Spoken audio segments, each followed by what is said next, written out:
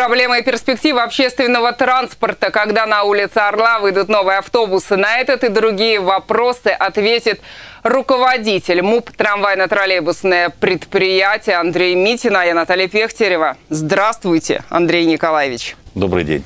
Андрей Николаевич, э, ну вот э, совсем недавно, можно сказать, э, состоялось такое важное в вашей жизни событие, ну и в жизни города тоже. Вы были назначены руководителем такого крупного предприятия МУП, трамвайно-троллейбусного предприятия. Но уже прошло полгода. Каким был для вас этот период, как вы сами его оцениваете, что успели достичь вместе с вашим коллективом, который, наверное, уже стал родным?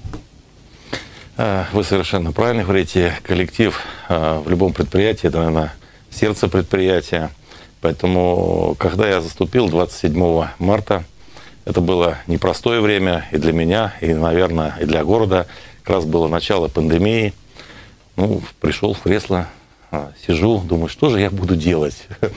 Счета все заблокированы, люди не едут, пандемия.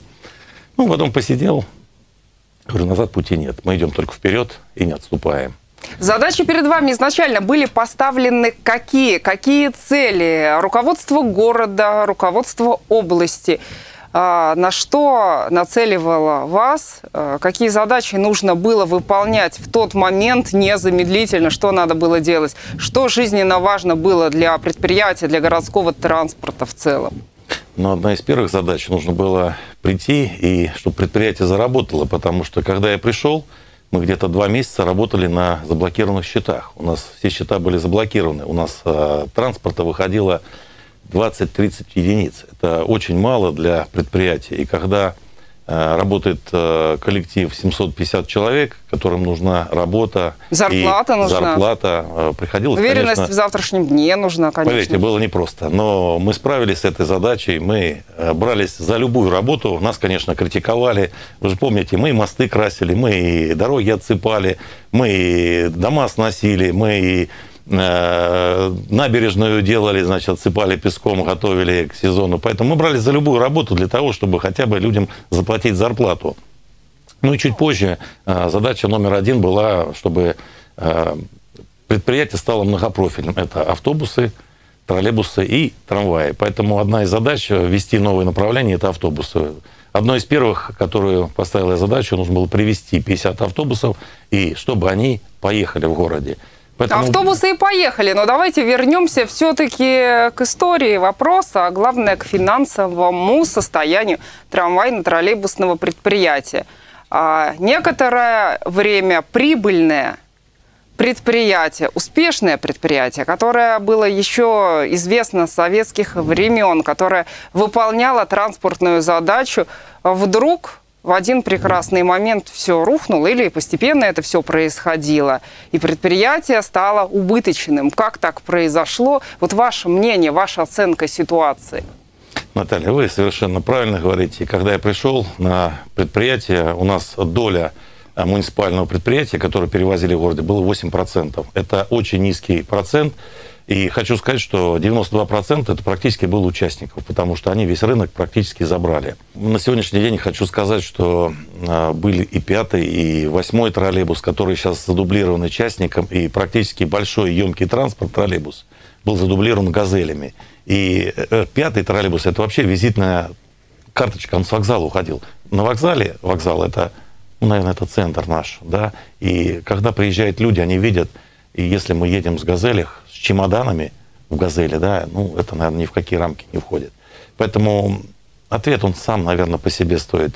Частники задублировали просто-напросто муниципальный транспорт. Поэтому что с этим надо делать? Или уже сделали? Муниципальному предприятию пришло не очень такое хорошее время. Я считаю, что и передо мной стоит задача номер один – возвратить э, и, можно сказать, возродить муниципальный транспорт, чтобы все-таки он, транспорт был доступный, так как раньше в трамвае свободно было, можно было ехать, в троллейбусе. Вот мы сейчас э, восстановили э, маршрут номер 8 с Выгонки он поехал. Пусть пока мы сейчас, можно сказать, все равно он дублируется, пусть не в полном объеме, там 8 э, машин. У нас 4 машины уже ежедневно ходят с Выгонки. Пятый, практически 3 машины. Мы будем сейчас конкурировать с частником, хотя нам это очень непросто и тяжело. Счета разблокированы, люди зарплату получают, если с финансами какие-то проблемы. А, хочу сказать, что когда я пришел, а, действительно, зарплаты было много непонятно.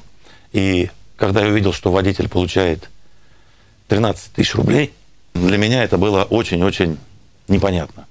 А, уборщица 13 тысяч рублей и водитель, который несет ответственность, который возит людей, у него Колоссальная 5, нагрузка постоянно на линии. Встает людьми, в 5 да. утра. И что я сделал? Одно из первых, я повысил зарплату, это водительскому персоналу, потому что получалось уже так, что водители уходят в другие регионы, в другие города и работают там. А у нас практически не стало специалистов на трамвай, на троллейбус. И одно из первых мы еще сделали, помимо повышения зарплаты, мы запустили учебный центр, который сейчас э, учатся э, наши э, люди, которые желают работать на транспорте, э, получая стипендию 10 тысяч рублей. Вот у нас уже сейчас такие две группы уже будут к Новому году выпускаться. Это 9 э, по трамваям человек и 5 человек по троллейбусам. Мы немножко начали возрождать назад люди пошли к нам, потому что зарплата все-таки сейчас достойная. И думаю, что в дальнейшем, я считаю, что водитель это, понимаете, это та курочка, которая несет яйца на предприятии. Новая история у предприятия началась, и новая история вообще в жизни городского транспорта, когда а, и трамваи, и троллейбусы, и автобусы объединены воедино на территории одного предприятия. Как будет дальше развиваться эта ситуация? Сколько сейчас автобусов у нас? Будут ли еще? Э, на предприятии сегодня есть автобусы, трамваи и троллейбусы. Мы готовы сегодня перевозить жителей города Орла э, в любую точку. Мы сейчас работаем над маршрутами, чтобы поток э, людей, который мы перевозим, был небольшой. Э, почему у нас иногда на остановках много людей стоят или маршруты едут э, быстро через каждые две минуты маршрутки? Почему едут? Почему? Потому что они оперативно работают, а мы немножко отставали. Когда у нас на линии было 15 трамваев, и мы 18 минут его ждали, конечно, это тоже не очень хорошо.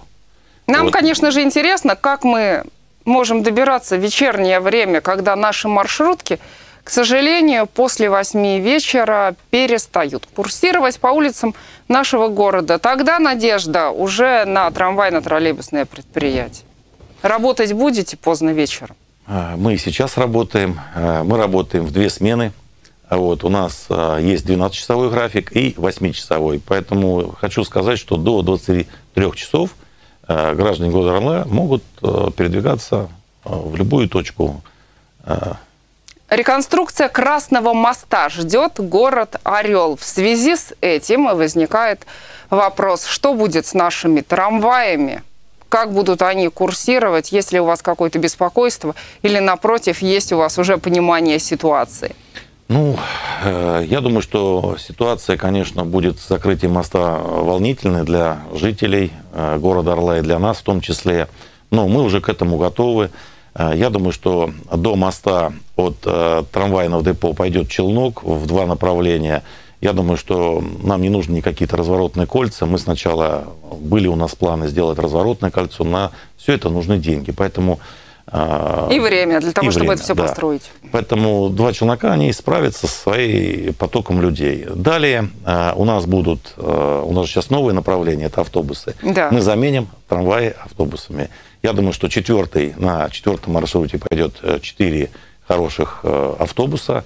Также троечка у нас будет до моста довозить э, с Пушкинской, также будет довозить людей на автобусе. Поэтому мы к этому готовы. И я думаю, что те автобусы, которые у нас сейчас едут через Герцена и ехали через Красный мост, я думаю, что они поедут через Дружбу. А некоторые поедут через Герцена, как он и ходил, пятерка, он пойдет через Герцена. Троллейбус у нас тоже пойдет через Герцена. Ну вот как автобусы... раз об автобусах. Новые автобусы у нас поступили уже, они на территории предприятия. Что это за машины, сколько их, когда мы их наконец-то увидим? Ну, хотя бы такая отдаленная перспектива наверняка уже существует. Когда а, вся документация будет готова? Совсем недавно а, мы получили 12 автобусов в лизинг. И я думаю, что с первого числа жители города Орла их увидят. Какой маршрут? Ну, давайте мы сейчас не будем гадать. Я думаю, что все-таки автобусы должны на центральных улицах работать. И все-таки это новый автобус, который должен передвигаться. Это, еще раз говорю, это лицо нашего города. Этот транспорт тоже. Я думаю, что ему надо уделять сейчас огромное внимание. И что мы это за машины? будем уделять. Что это за машины? Насколько они комфортабельные для нас, пассажиров? 12 э, автобусов, они низкопольные. Мы сейчас ставим для себя ориентир, чтобы была доступная среда. Ну, совсем недавно вы помните, что на маршрутах было по одному автобусу, чтобы можно было довести инвалида или там с коляской. У нас сейчас практически все автобусы доступны. Можно переехать с велосипедом. Даже троллейбусы, мы сейчас задние у нас двери, у нас сняты ручки, и можно с коляской практически проехать и велосипед довести. Поэтому мы на это ставим упор, чтобы для людей было доступно. Ну, вы говорите 12 автобусов. Наверняка потребуются водители. Может быть, сейчас э, некоторые люди нас смотрят и задаются вопросом, можно ли прийти и работать в трамвае, троллейбусное предприятие, коли там ситуация стабилизировалась и говорят то, что зарплата повышается. Может быть, некоторые водители маршруток к вам захотят прийти на работу. Нужны рабочие руки? На сегодняшний день э, с водителями действительно есть у нас э, проблема, но мы ее решаем. Э, на сегодняшний день у нас работает уже более 70 человек водителей, которые и на новые автобусы мы сейчас подбираем людей, профессионалов, потому что хотелось бы, чтобы не гонками мы занимались, а занимались перевозкой наших жителей города Андрей Николаевич, очень важно, чтобы наш общественный, наш личный транспорт курсировал по хорошим, качественным дорогам. Есть у нас национальный проект «Безопасные и качественные автомобильные дороги». Куратором от партии «Единая Россия» в Орловском регионе являетесь вы. Как вы оцениваете работу этого проекта и, собственно, какую миссию выполняете вы как куратор? Я знаю то, что вы по региону много ездите, и мы как-то с вами были в Орловском районе, когда вы инспектировали дорогу в деревне Лаврово, строительство тротуаров. Ваши оценки, итоги сезона с вашей точки зрения? Хочу сказать, что на сегодняшний день мы научились делать дороги. Э, если взять там 2-3 года, мы делали полотно. Сейчас мы уже делаем и благоустройство, и э, заездные карманы. И на чем я всегда настаивал, давайте комплексно подходить э, вот, э, к этому проекту. И хочу сказать, что мы были услышаны, и совместно с департаментом мы много обсуждали. Э, хочу сказать, что в городе мы сейчас практически на 5 баллов делаем дороги. Да? В районах мы еще пока хромаем, но у нас есть договоренность, что где-то мы переделываем, где-то мы проекты доводим до того соответствия, которое должно быть. Еще раз говорю, я бы хотел, и я думаю, что партия «Единая Россия» наставит для того, чтобы это комплексно делали, понимаете? Потому что если раньше делали одно полотно, ну что такое полотно? Проехали дорогу, закатали, а дальше у нас ни бордюров, ни заездных карманов, ни тротуаров тоже не было. Практически, да. А сейчас я хочу сказать, что в этом плане мы очень большой сделали рывок. Что надо менять, по вашему мнению, в будущем, в перспективе, в работе с подрядчиками? Может быть, э, какие-то федеральные законы новые издавать, региональные какие-то законы должны быть, для того, чтобы контролировать их больше. Наверняка нуждаются же они все-таки повышенном контроле. Совершенно правильно. Знаете, вот раньше выигрывали у нас э, разные компании, и губернатор э, много раз задал вопрос, должны быть местные, которые живут здесь, и они по этим дорогам ездят, ходят, э, гуляют. И главное, смотрят. чтобы их потом не искать где-то. Совершенно правильно. Поэтому множество было таких контрактов, которые мы не могли найти уже и подрядчика. Сейчас практически дороги выполняют и благоустройство орловские подрядчики, и я считаю, что нам с ними намного легче. Андрей Николаевич, спасибо вам большое за сегодняшнюю беседу. Приходите к нам еще всегда рады.